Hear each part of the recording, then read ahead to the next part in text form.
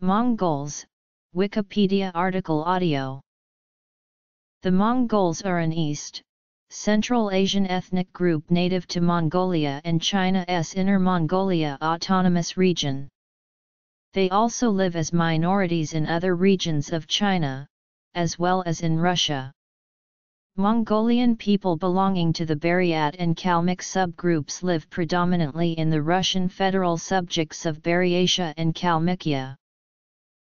Definition History in the Chinese classics. Era of the Mongol Empire and Northern Yuan. Qing era Mongols. Post-Qing era. Language. Religion. Military. Kinship and family life. Historical population. Geographic distribution. Subgroups. Mongolia. China. Russia. Elsewhere. Gallery. Data tables. The Mongols are bound together by a common heritage and ethnic identity. Their indigenous dialects are collectively known as the Mongolian language. The ancestors of the modern-day Mongols are referred to as Proto-Mongols. Broadly defined, the term includes the Mongols proper, Buryats, Warais, the Kalmyk people and the southern Mongols. The latter comprises the Abaga Mongols, Abaganar, Aohans, Baarins, Gorlos Mongols, Jalaids, Yeruad, Khishigten, Khuuchid, Muumyangan, and Onajud. The designation Mongol briefly appeared in 8th century records of Tang China to describe a tribe of Shiwei. It resurfaced in the late 11th century during the Khitan-ruled Liao dynasty. After the fall of the Liao in 1125, the Khamag Mongols became a leading tribe on the Mongolian plateau. However, their wars with the Jurchen-ruled Jin dynasty and the Tatar Confederation had weakened them. In the 13th century, the word Mongol grew into an umbrella term for a large group of Mongolic-speaking tribes united under the rule of Genghis Khan. Timeline History Rulers Nobility In various times Mongolic peoples have been equated with the Scythians, the Magog, and the Tungusic peoples. Based on Chinese historical texts the ancestry of the Mongolic peoples can be traced back to the Donghu, a nomadic confederation occupying eastern Mongolia and Manchuria. The identity of the Xiongnu is still debated today. Although some scholars maintain that they were Proto-Mongols, they were more likely a multi-ethnic group of Mongolic and Turkic tribes. It has been suggested that the language of the Huns was related to the Hun-Nu. The Donghu, however, can be much more easily labeled Proto-Mongol since the Chinese histories trace only Mongolic tribes and kingdoms from them, although some historical texts claim a mixed Xiongnu-Donghu ancestry for some tribes. The Donghu are mentioned by Sima Qian as already existing in Inner Mongolia north of Yan in 699-632 BCE along with the Shan Rong. Mentions in the Yi Zhou Shu and the Classic of Mountains and Seas indicate the Donghu were also active during the Shang dynasty. The Xianbei formed part of the Donghu Confederation, but had earlier times of independence, as evidenced by a mention in the Guoyu, which states that during the reign of King Cheng of Zhou they came to participate at a meeting of Zhou subject lords at Qiyang but were only allowed to perform the fire ceremony under the supervision of Chu since they were not vassals by covenant. The Xianbei chieftain was appointed joint guardian of the ritual torch along with Xiong Yi. These early Xianbei came from the nearby Zhukaigou culture in the Ordos Desert, where maternal DNA corresponds to the Mongol Daur people and the Tungusic Evenks. The Zhukaigou Xianbei had trade relations with the Shang. In the late 2nd century, the Han Dynasty scholar Fu Qian wrote in his commentary Jixi that Shanrong and Bai Di are ancestors of the present-day Xianbei. Again in Inner Mongolia another closely connected core Mongolic Xianbei region was the Upper Xiajiadian culture where the Donghu Confederation was centered. After the Donghu were defeated by Xiongnu King Modud Chanyu, the Xianbei and Wuhuan survived as the main remnants of the confederation. Tadun Khan of the Wuhuan was the ancestor of the Proto-Mongolic Kumo Xi. The Wuhuan are of the direct Donghu royal line and the new Book of Tang says that in 209 BCE, Modud Chanyu defeated the Wuhuan instead of using the word Donghu. The Xianbei, however, were of the lateral Donghu line and had a somewhat separate identity, although they shared the same language with the Wuhuan. In 49 CE the Xianbei ruler Bian he raided and defeated the Xiongnu, killing 2,000, after having received generous gifts from Emperor Guangwu of Han. The Xianbei reached their peak under Tan Shui Khan who expanded the vast, but short-lived, Xianbei state.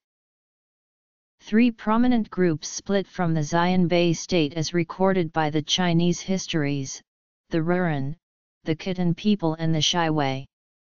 Besides these three Xianbei groups, there were others such as the Murong, Duan, and Tuoba. Their culture was nomadic, their religion shamanism or Buddhism and their military strength formidable. There is still no direct evidence that the Rouran spoke Mongolic languages, although most scholars agree that they were Proto-Mongolic. The Khitan, however, had two scripts of their own and many Mongolic words are found in their half-deciphered writings. Geographically, the Xianbei ruled the southern part of Inner Mongolia and northern China, the Rouran ruled eastern Mongolia, Western Mongolia, the northern part of Inner Mongolia and Northern Mongolia, the Khitan were concentrated in eastern part of Inner Mongolia north of Korea and the Shiwei were located to the north of the Khitan. These tribes and kingdoms were soon overshadowed by the rise of the Turkic Khaganate in 555, the Uyghur Khaganate in 745 and the Yenisei Kyrgyz states in 840 the Tuoba were eventually absorbed into China. The Rouran fled west from the Göktürks and either disappeared into obscurity or, as some say, invaded Europe as the Avars under their Khan, Bayan I. Some Rouran under Tatar Khan migrated east, founding the Tatar Confederation, who became part of the Shiwei. The Khitan, who were independent after their separation from the Kumo Xi in 388, continued as a minor power in Manchuria until one of them, Abaoji, established the Liao dynasty as Emperor Taizu of Liao. The destruction of Uyghur Khaganate by the Kyrgyz resulted in the end of Turkic dominance in Mongolia. According to historians, Kyrgyz were not interested in assimilating newly acquired lands, instead, they controlled local tribes through various manaps. The Khitans occupied the areas vacated by the Turkic Uyghurs bringing them under their control. The Yenisei Kyrgyz state was centered on Khakassia and they were expelled from Mongolia by the Khitans in 924. Beginning in the 10th century, the Khitans, under the leadership of Abaoji, prevailed in a several military campaigns against the Tang dynasty's border guards, and the Xi, Shiwei, and Jurchen nomadic groups. The Khitan fled west after being defeated by the Jurchens and founded the Kara Khitai in eastern Kazakhstan. In 1218, Genghis Khan destroyed the Kara Khitai after which the Khitan passed into obscurity. With the expansion of the Mongol Empire, the Mongolic peoples settled over almost all Eurasia and carried on military campaigns from the Adriatic Sea to Indonesian Java Island and from Japan to Palestine. They simultaneously became Padishahs of Persia, emperors of China, and great Khans of Mongolia, and one became Sultan of Egypt. The Mongolic peoples of the Golden Horde established themselves to govern Russia by 1240. By 1279, they conquered the Song dynasty and brought all of China under control of the Yuan dynasty. With the breakup of the empire, the dispersed Mongolic peoples quickly adopted the mostly Turkic cultures surrounding them and were assimilated, forming parts of Azerbaijanis, Uzbeks, Karakalpaks, Tatars, Bashkirs, Turkmens, Uyghurs, Nogays, Kyrgyzs, Kazakhs, Caucasus peoples, Iranian peoples, and Moguls. Linguistic and cultural Persianization also began to be prominent in these territories. Some Mongols assimilated into the Yakuts after their migration to northern Siberia and about 30% of Yakut words have Mongol origin. However, most of the Yuan Mongols returned to Mongolia in 1368, retaining their language and culture. There were 250,000 Mongols in southern China and many Mongols were massacred by the rebel army the survivors were trapped in southern China and eventually assimilated. The Dongxiangs, Bonans, Yugur, and Monguor people were invaded by Chinese Ming dynasty. After the fall of the Yuan dynasty in 1368, the Mongols continued to rule the northern Yuan dynasty in Mongolia homeland. However, the Oirats began to challenge the eastern Mongolic peoples under the Borjigin monarchs in the late 14th century and Mongolia was divided into two parts, Western Mongolia and Eastern Mongolia. The earliest written references to the plough in Middle Mongolian language sources appear towards the end of the 14th c. In 1434, Eastern Mongolian Taijian Khan's Prime Minister Western Mongolian Togun Taish reunited the Mongols after killing Eastern Mongolian another king Ade. Togun died in 1439 and his son Esen Taish became Prime Minister. Esen carried out successful policy for Mongolian unification and independence. The Ming Empire attempted to invade Mongolia in the 1416th centuries, however, the Ming Empire was defeated by the Waray, Southern Mongol, Eastern Mongol, and United Mongolian armies. Esen's 30,000 cavalries defeated 500,000 Chinese soldiers in 1449. Within 18 months of his defeat of the titular Khan Taijian, in 1453, Esen himself took the title of Great Khan of the Great Yuan. The Khalkha emerged during the reign of Dayan Khan as one of the six Tumans of the eastern Mongolic peoples. They quickly became the dominant Mongolic clan in Mongolia proper. He reunited the Mongols again. The Mongols voluntarily reunified during Eastern Mongolian Tuman's Asagd Khan rule for the last time.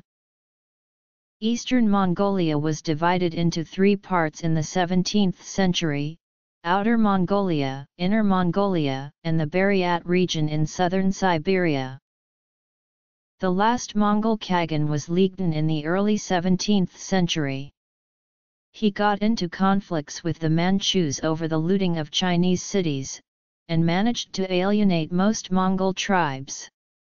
In 1618, Ligdan signed a treaty with the Ming dynasty to protect their northern border from the Manchus' attack in exchange for thousands of taels of silver. By the 1620s, only the Chahars remained under his rule. The Chahar army was defeated in 1625 and 1628 by the Inner Mongol and Manchu armies due to Ligdan's faulty tactics. The Qing forces secured their control over Inner Mongolia by 1635, and the army of the last Khan Ligdan moved to battle against Tibetan Gelugpa sect forces. The Gelugpa forces supported the Manchus, while Ligdan supported Kagyu sect of Tibetan Buddhism. Ligdan died in 1634 on his way to Tibet. By 1636, most Inner Mongolian nobles had submitted to the Qing dynasty founded by the Manchus. Inner Mongolian Tenghis Noyan revolted against the Qing in the 1640s and the Khalkha battled to protect Sunad. Western Mongolian Warais and Eastern Mongolian Khalkhas vied for domination in Mongolia since the 15th century and this conflict weakened Mongolian strength. In 1688, Western Mongolian Dzungar Khanate's king Galdan Boshugtu attacked Khalkha after murder of his younger brother by Tushit Khan Chukhan Dorje and the Khalkha Waray War began.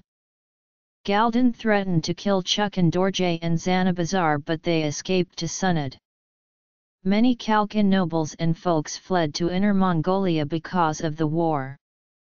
Few Khalkhas fled to the Buryat region and Russia threatened to exterminate them if they did not submit, but many of them submitted to Galdan Ba.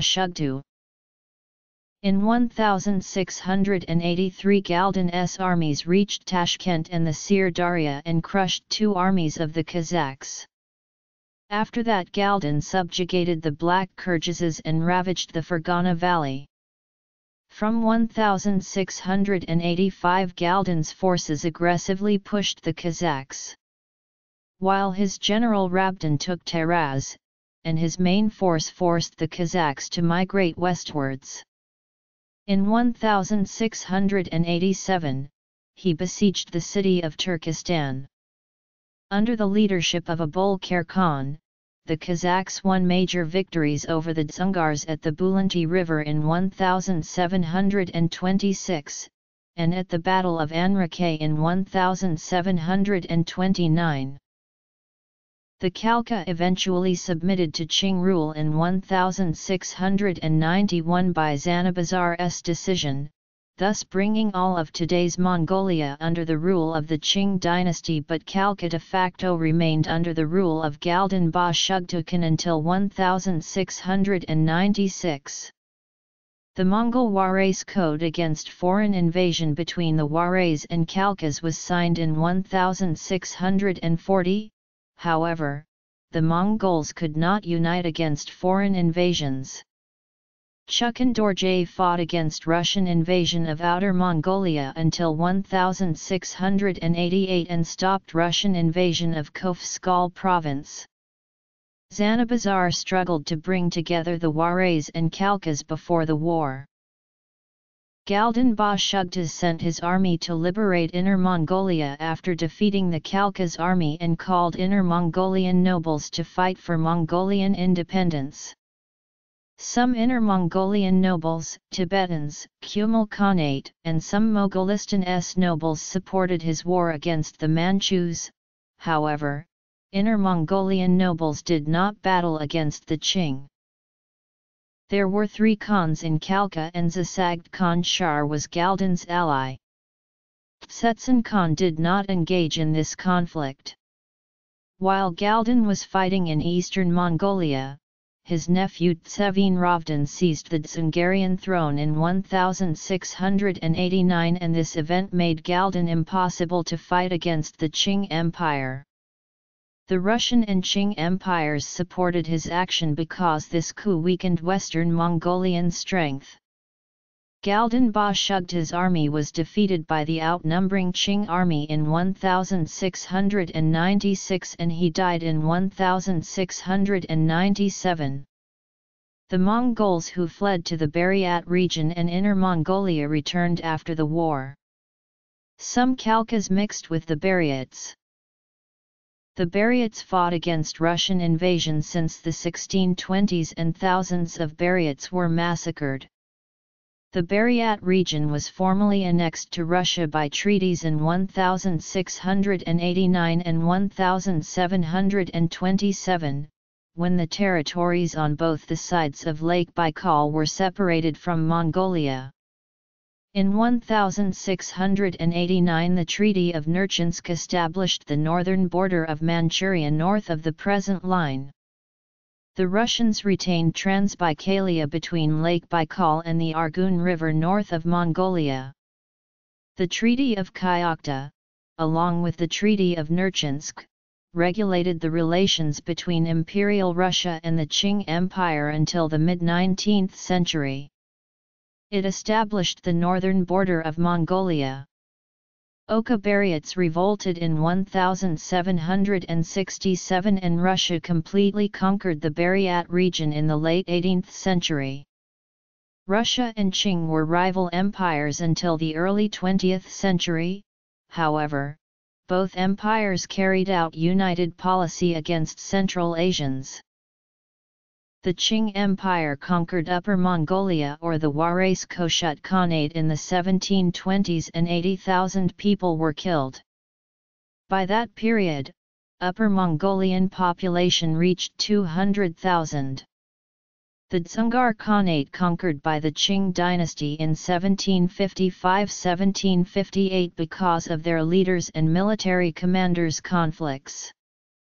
Some scholars estimate that about 80% of the Dzungar population were destroyed by a combination of warfare and disease during the Qing conquest of the Dzungar Khanate in 1755-1758.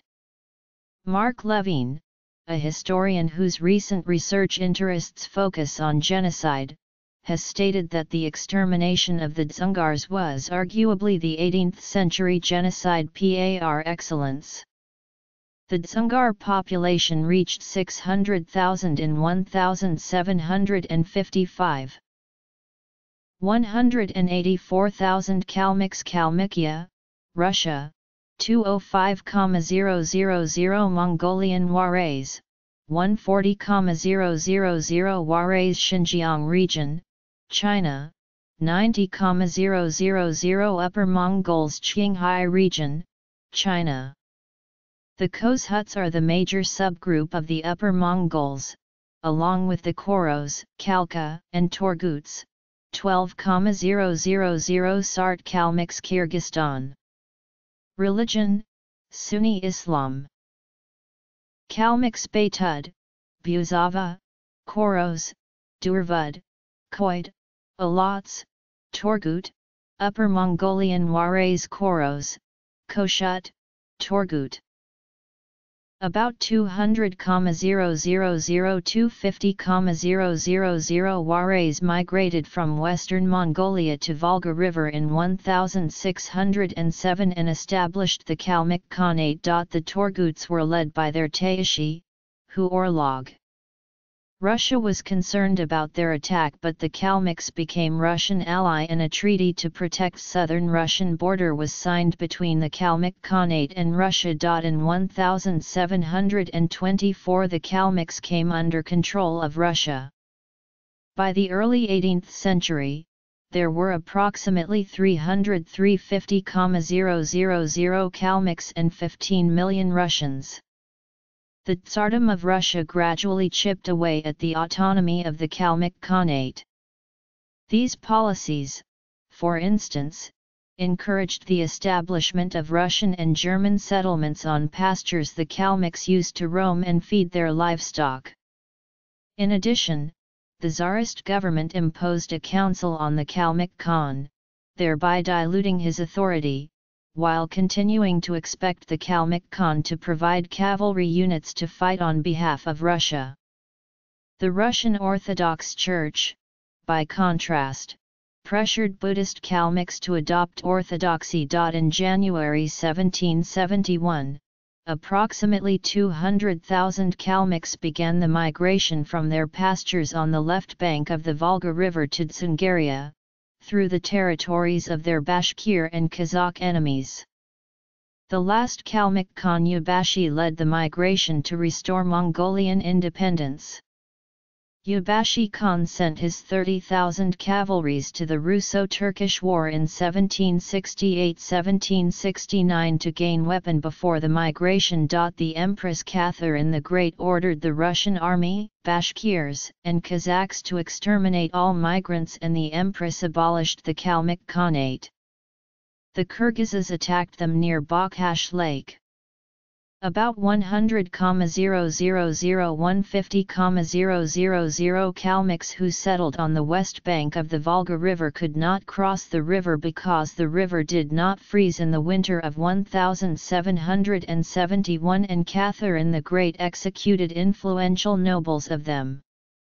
After seven months of travel, only one-third of the original group reached Dzungaria the Qing Empire transmigrated the Kalmyks to five different areas to prevent their revolt and influential leaders of the Kalmyks died soon. Russia states that Buryatia voluntarily merged with Russia in 1659 due to Mongolian oppression and the Kalmyks voluntarily accepted Russian rule in 1609 but only Georgia voluntarily accepted Russian rule. In the early 20th century, the late Qing government encouraged Han Chinese colonization of Mongolian lands under the name of New Policies or New Administration. As a result, some Mongol leaders decided to seek Mongolian independence. After the Xinhai Revolution, the Mongolian Revolution on November 30, 1911 in Outer Mongolia ended over 200-year rule of the Qing dynasty. With the independence of Outer Mongolia, the Mongolian army controlled Khalkha and Khost regions, but northern Xinjiang, Upper Mongolia, Barga, and Inner Mongolia came under control of the newly formed Republic of China. On February 2, 1913 the Bogd Khanate of Mongolia sent Mongolian cavalries to liberate Inner Mongolia from China. Russia refused to sell weapons to the Bogd Khanate, and the Russian Tsar, Nicholas II, referred to it as Mongolian imperialism. Additionally, the United Kingdom urged Russia to abolish Mongolian independence as it was concerned that if Mongolians gain independence, then Central Asians will revolt. 10,000 Khalkha and Inner Mongolian cavalries defeated 70,000 Chinese soldiers and controlled almost all of Inner Mongolia, however, the Mongolian army retreated due to lack of weapons in 1914. 400 Mongol soldiers and 3,795 Chinese soldiers died in this war. The Khalkhas, Khoftwarais, Buryats, Dzungarian Warais, Upper Mongols, Barga Mongols, most Inner Mongolian and some Tuvan leaders sent statements to support Bogd Khan's call of Mongolian reunification. In reality however, most of them were too prudent or irresolute to attempt joining the Bogd Khan regime. Russia encouraged Mongolia to become an autonomous region of China in 1914. Mongolia lost Barga, Dzungaria, Tuva, Upper Mongolia, and Inner Mongolia in the 1915 Treaty of Kyakhta. In October 1919, the Republic of China occupied Mongolia after the suspicious deaths of Mongolian patriotic nobles. On February 3, 1921 the White Russian Army led by Baron Ungern and mainly consisting of Mongolian volunteer cavalries and Buryat and Tatar Cossacks liberated the Mongolian capital. Baron Ungern's purpose was to find allies to defeat the Soviet Union. The statement of reunification of Mongolia was adopted by Mongolian revolutionist leaders in 1921. The Soviet, however, considered Mongolia to be Chinese territory in 1924 during secret meeting with the Republic of China. However, the Soviets officially recognized Mongolian independence in 1945 but carried out various policies against Mongolia until its fall in 1991 to prevent pan-Mongolism and other irredentist movements. On April 10, 1932 Mongolians revolted against the government's new policy and Soviets. The government and Soviet soldiers defeated the rebels in October. The Buryats started to migrate to Mongolia in the 1900s due to Russian oppression. Joseph Stalin's regime stopped the migration in 1930 and started a campaign of ethnic cleansing against newcomers and Mongolians. During the Stalinist repressions in Mongolia almost all adult Buryat men and 2233,000 Mongols were shot dead under Soviet orders. Some authors also offer much higher estimates, up to 100,000 victims. Around the late 1930s the Mongolian People's Republic had an overall population of about 700,000 to 900,000 people. By 1939, Soviet said we repressed too many people, the population of Mongolia is only hundred thousands. Proportion of victims in relation to the population of the country is much higher than the corresponding figures of the Great Purge in the Soviet Union. The Manchukuo, puppet state of the Empire of Japan invaded Barga and some part of Inner Mongolia with Japanese help. The Mongolian army advanced to the Great Wall of China during the Soviet-Japanese War of 1945. Japan forced Inner Mongolian and Barga people to fight against Mongolians but they surrendered to Mongolians and started to fight against their Japanese and Manchu allies. Marshal Khorloogiin Choibalsan called Inner Mongolians and Xinjiang Warais to migrate to Mongolia during the war but the Soviet army blocked Inner Mongolian migrants' way. It was a part of Pan-Mongolian plan and few Warais and Inner Mongols arrived. Inner Mongolian leaders carried out active policy to merge Inner Mongolia with Mongolia since 1911. They founded the Inner Mongolian Army in 1929 but the Inner Mongolian Army disbanded after ending World War II. The Japanese Empire supported Pan-Mongolism since the 1910s but there have never been active relations between Mongolia and Imperial Japan due to Russian resistance. Inner Mongolian nominally independent Mengjiang state was established with support of Japan in 1936 also some Buryat and Inner Mongol nobles founded Pan-Mongolist government with support of Japan in 1919. The Inner Mongols established the short-lived Republic of Inner Mongolia in 1945. Another part of Choibalsan's plan was to merge Inner Mongolia and Dzungaria with Mongolia. By 1945, Chinese Communist leader Mao Zedong requested the Soviets to stop Pan-Mongolism because China lost its control over Inner Mongolia and without Inner Mongolian support the Communists were unable to defeat Japan and Kuomintang. Mongolia and Soviet-supported Xinjiang Uyghurs and Kazakhs separatist movement in the 1930-1940s.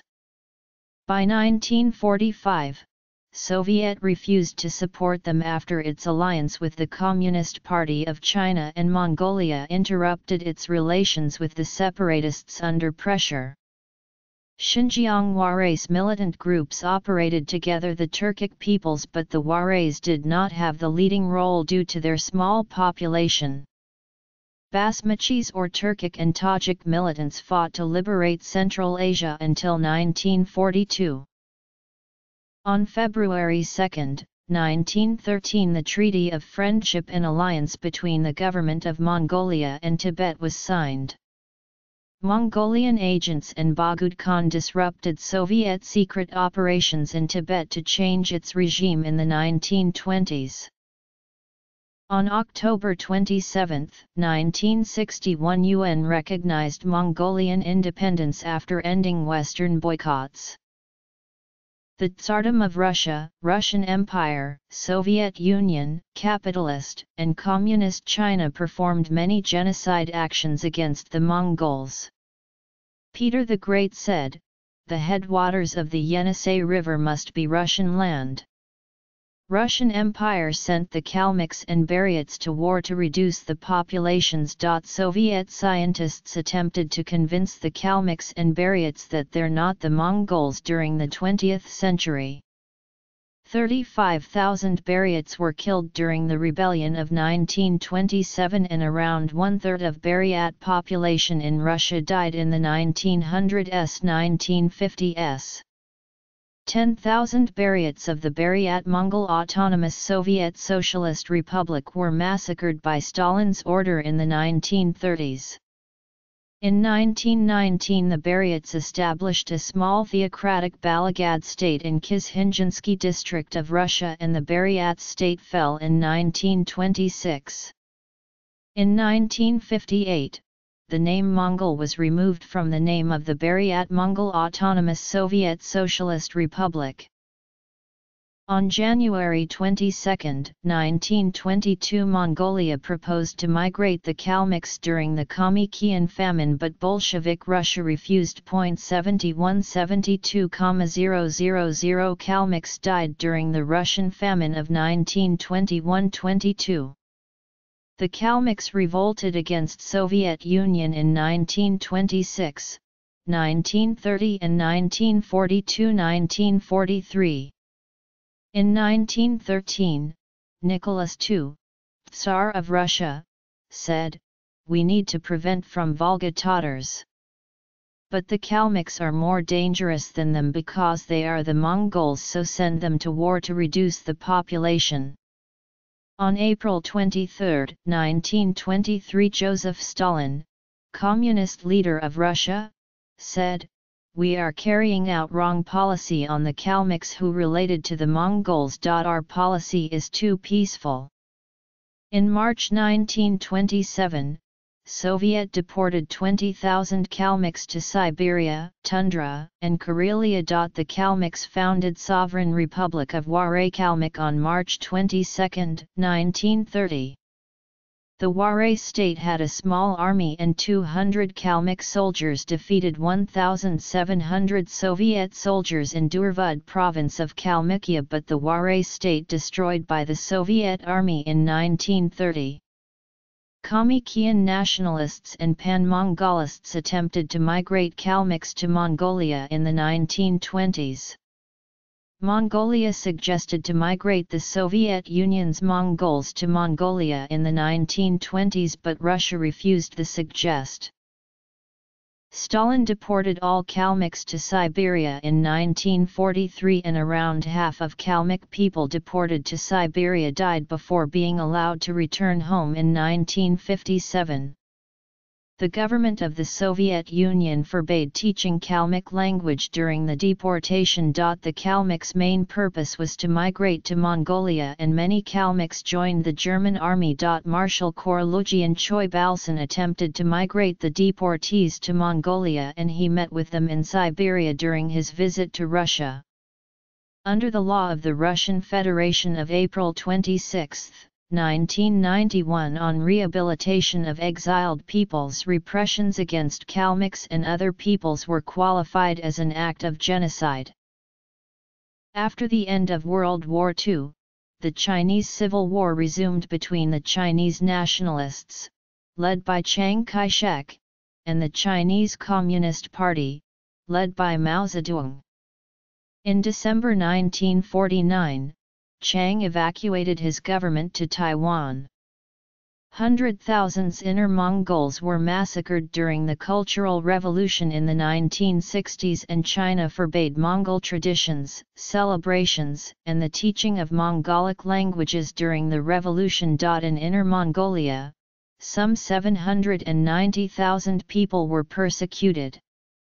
Approximately 1 million Inner Mongols were killed during the 20th century. In 1960 Chinese newspaper wrote that Han Chinese ethnic identity must be Chinese minorities' ethnic identity. China-Mongolia relations were tense from the 1960s to the 1980s as a result of Sino-Soviet split, and there were several border conflicts during the period. Cross-border movement of Mongols was therefore hindered. On October 3, 2002 the Ministry of Foreign Affairs announced that Taiwan recognizes Mongolia as an independent country, although no legislative actions were taken to address concerns over its constitutional claims to Mongolia. Offices established to support Taipei's claims over Outer Mongolia, such as the Mongolian and Tibetan Affairs Commission, lie dormant. Agin Buryat Okrug and Ust-Orda Buryat Okrugs merged with Irkutsk Oblast and Chita Oblast in 2008 despite Buryat's resistance. Small-scale protests occurred in Inner Mongolia in 2011. The Inner Mongolian People's Party is a member of the Unrepresented Nations and Peoples Organization and its leaders are attempting to establish sovereign state or merge Inner Mongolia with Mongolia. Mongolian is the official national language of Mongolia, where it is spoken by nearly 2.8 million people, and the official provincial language of China's Inner Mongolia Autonomous Region, where there are at least 4.1 million ethnic Mongols. Across the whole of China, the language is spoken by roughly half of the country's 5.8 million ethnic Mongols however, the exact number of Mongolian speakers in China is unknown, as there is no data available on the language proficiency of that country's citizens. The use of Mongolian in China, specifically in Inner Mongolia, has witnessed periods of decline and revival over the last few hundred years. The language experienced a decline during the late Qing period, a revival between 1947 and 1965, a second decline between 1966 and 1976, a second revival between 1977 and 1992, and a third decline between 1995 and 2012. However, in spite of the decline of the Mongolian language in some of Inner Mongolia's urban areas and educational spheres, the ethnic identity of the urbanized Chinese-speaking Mongols is most likely going to survive due to the presence of urban ethnic communities. The multilingual situation in Inner Mongolia does not appear to obstruct efforts by ethnic Mongols to preserve their language.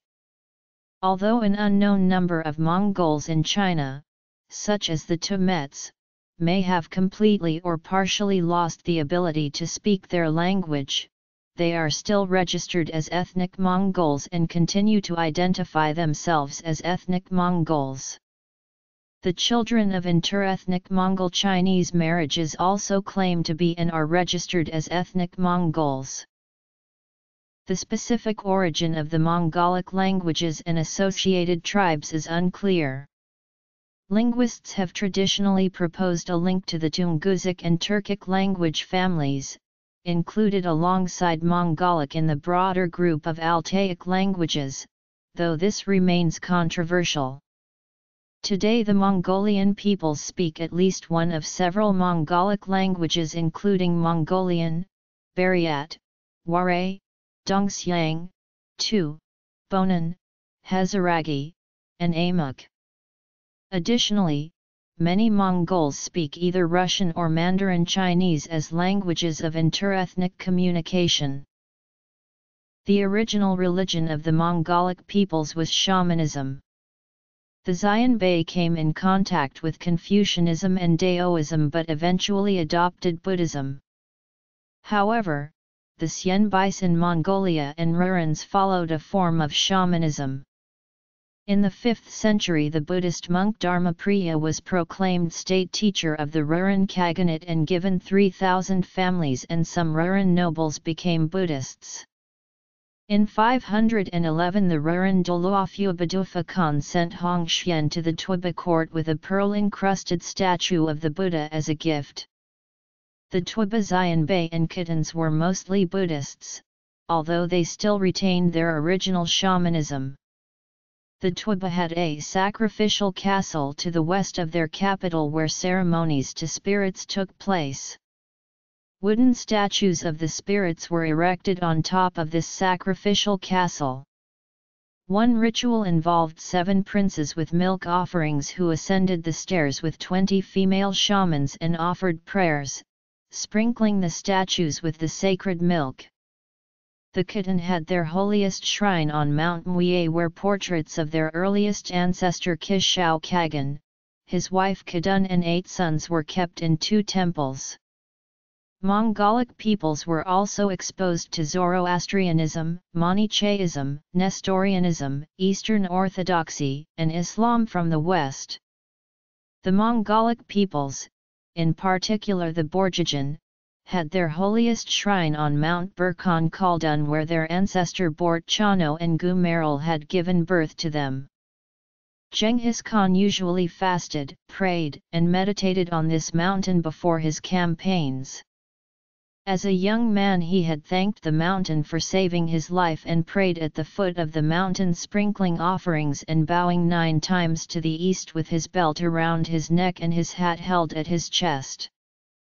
Genghis Khan kept a close watch on the Mongolic supreme shaman Koko Koteb who sometimes conflicted with his authority.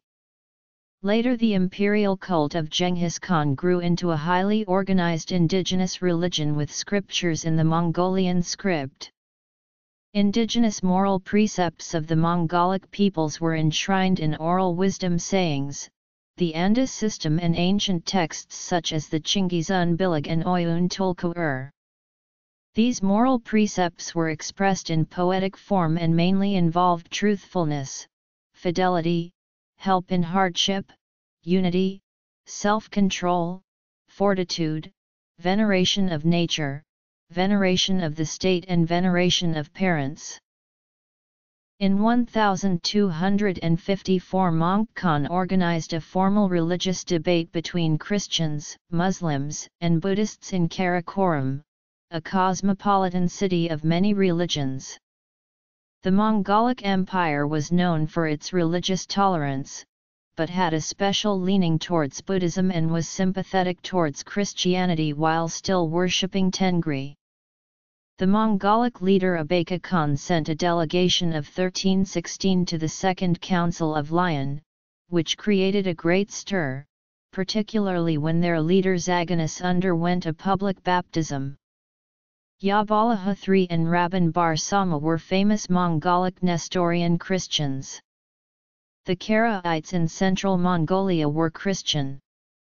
The Western Khanates, however, eventually adopted Islam and the Turkic languages, although allegiance to the Great Khan and limited use of the Mongolic languages can be seen even in the 1330s. The Mongolic nobility during the Yuan dynasty studied Confucianism, built Confucian temples and translated Confucian works into Mongolic but mainly followed the Sakya school of Tibetan Buddhism under Phagspa Lama. The general populace still practiced shamanism. Dongxiang and Bonan Mongols adopted Islam, as did Moal-speaking peoples in Afghanistan. In the 1576 the Gelug school of Tibetan Buddhism became the state religion of the Mongolia. The Red Hat sect of Tibetan Buddhism coexisted with the Gelug Yellow Hat sect.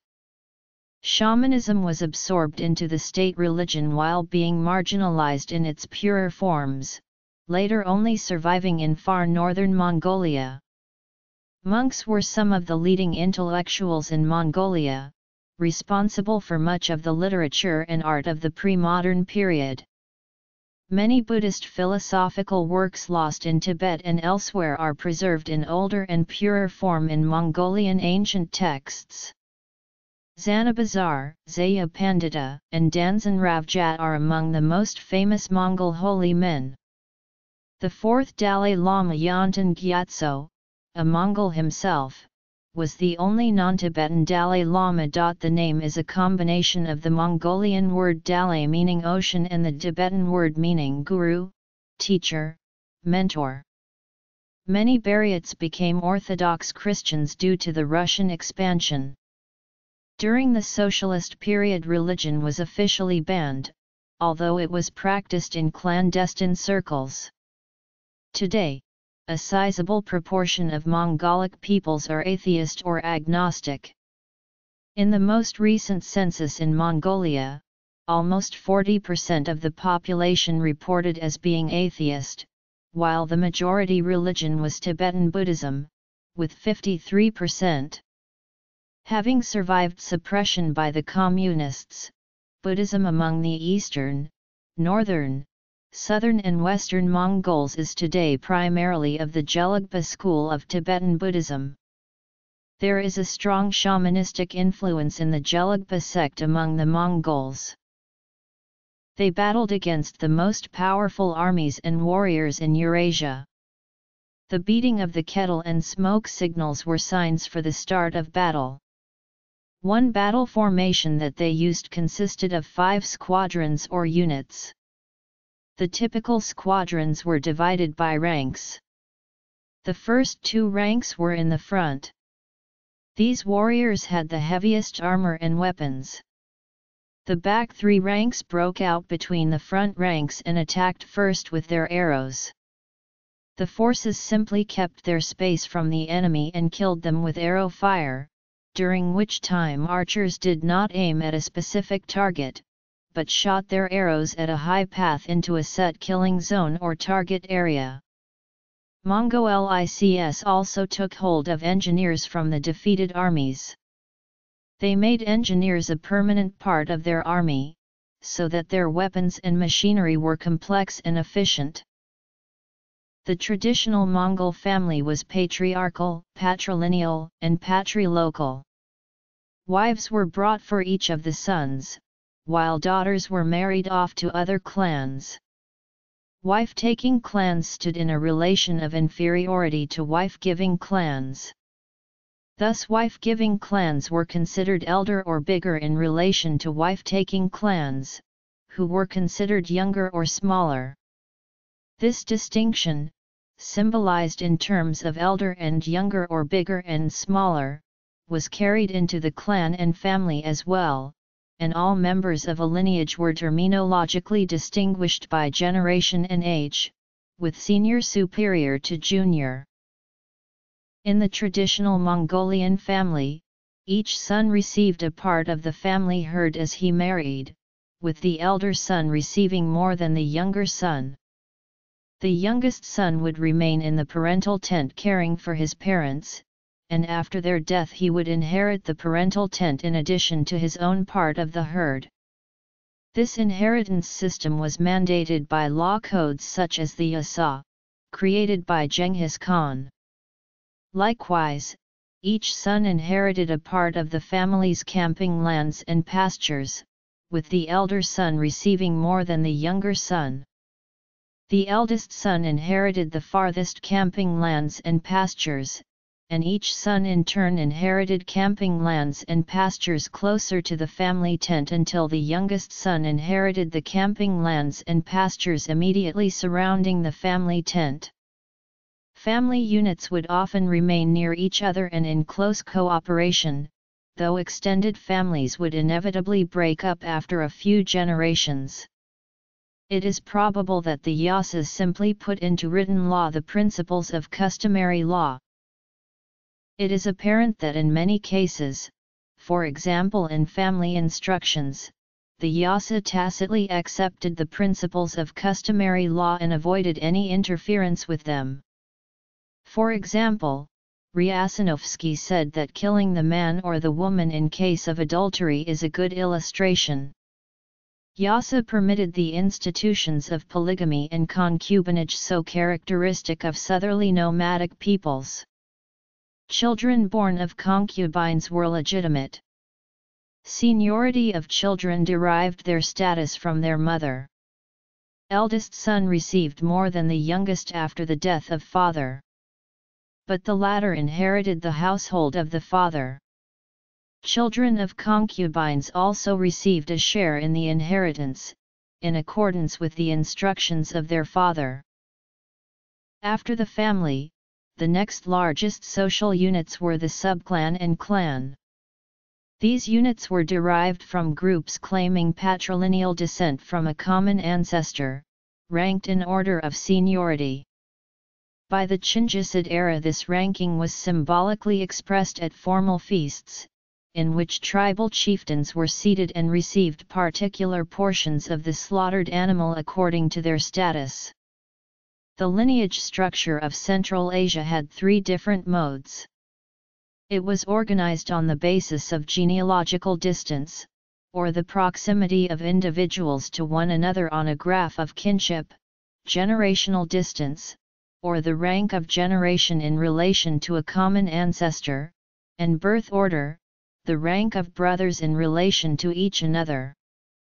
The paternal descent lines were collaterally ranked according to the birth of their founders, and were thus considered senior and junior to each other.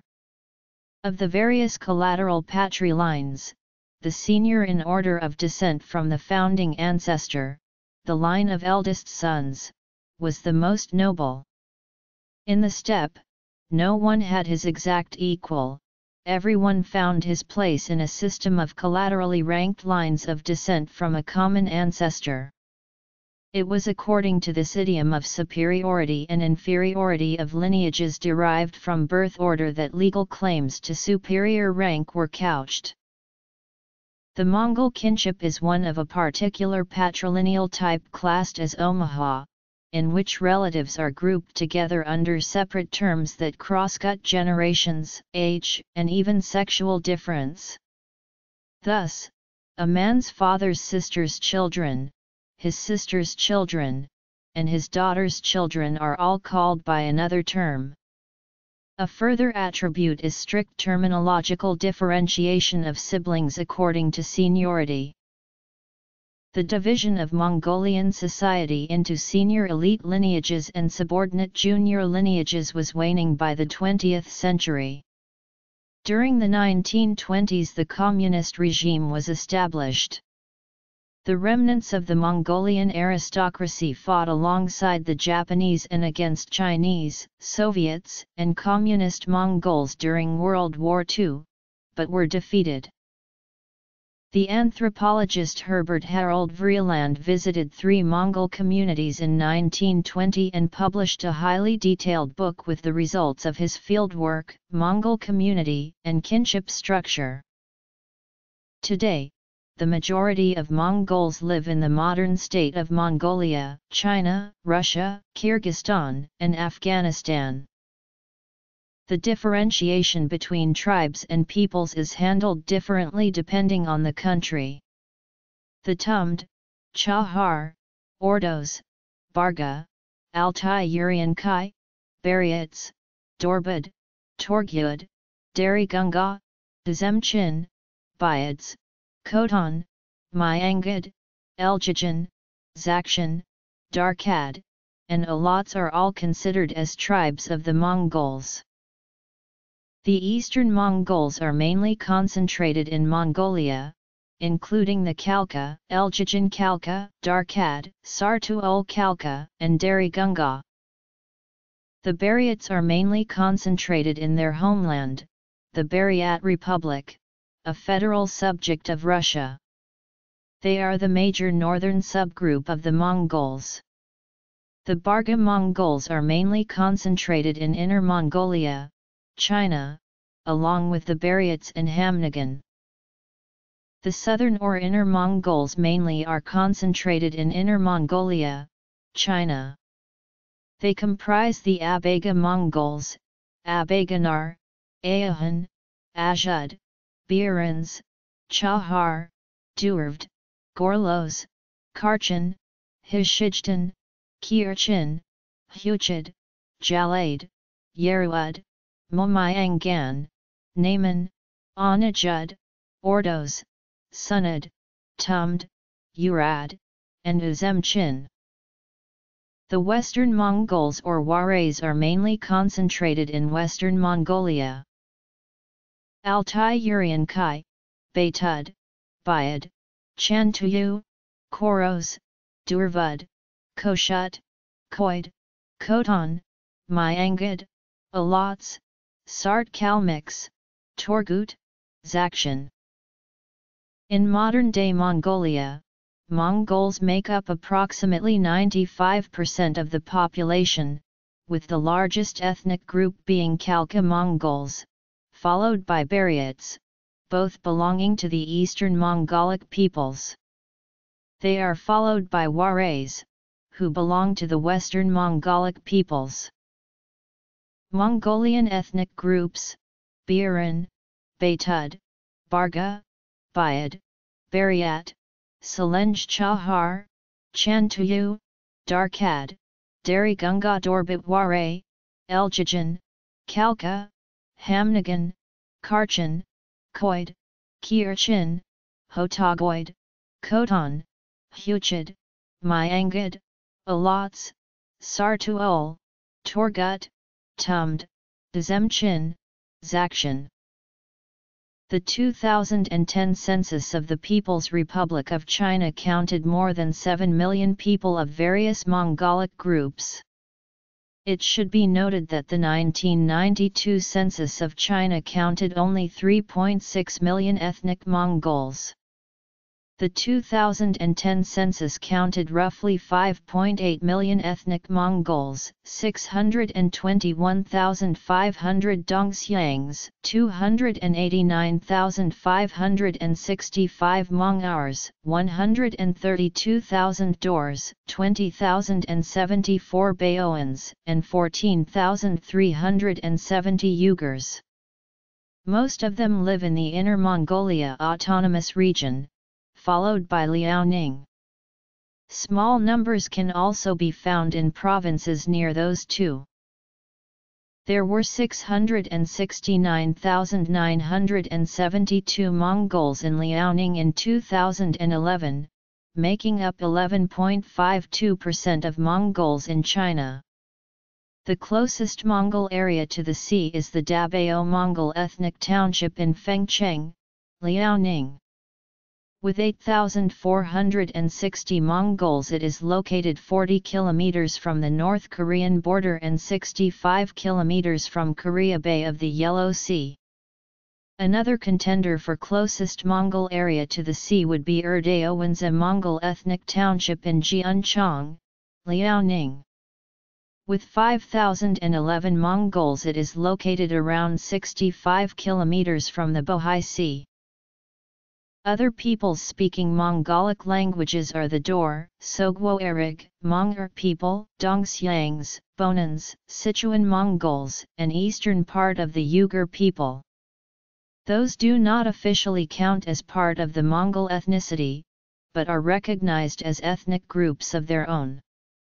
The Mongols lost their contact with the Monguors, Bonan, Dongxiangs, Yunnan Mongols since the fall of the Yuan dynasty. Mongolian scientists and journalists met with the Dongxiangs and Yunnan Mongols in the 2000s. Inner Mongolia, Southern Mongols, Barga, Buryat, Dörbet Oirat, Khalkha, Dzungar people, Esni Torgut. Xinjiang Province, Altai Uriankhai, Chahar, Khoshut, Alots, Torgut, Zakshan. Qinghai Province, Upper Mongols, Choros, Khalkha Mongols, Khoshut, Torgut. Two Mongolic ethnic groups are present in Russia. The 2010 census found 461,410 Buryats and 183,400 Kalmyks. Smaller numbers of Mongolic peoples exist in Western Europe and North America. Some of the more notable communities exist in South Korea, the United States, the Czech Republic and the United Kingdom. Mongol Empress Zaya VIII, wife of Kholug Khan. Genghis son Tului with Queen Sorghaghtani. Hulagu Khan, ruler of the Il Khanate. 13th century Ilkhanid Mongol archer. Mongol soldiers by Rashid al-Din in 1305. Kalmyk Mongol girl Anushka. A 20th century Mongol Khan, Navanaren. The fourth Dalai Lama Yonten Gyatso. Dolgorsürengiin Dagvadorj became the first Mongol to reach sumo's highest rank. Mongol women archers during Naadam festival. A Mongol musician. A Mongol wrangler. Buryat Mongol shaman. Kalmyks, 19th century. Mongol girl performing Bayad dance. Buryat Mongols. Daur Mongol Empress Wanrong, also had Borjigin blood on maternal side. Buryat Mongol boy during shamanic rite. Concubine Wenxiu was Puyi's consort.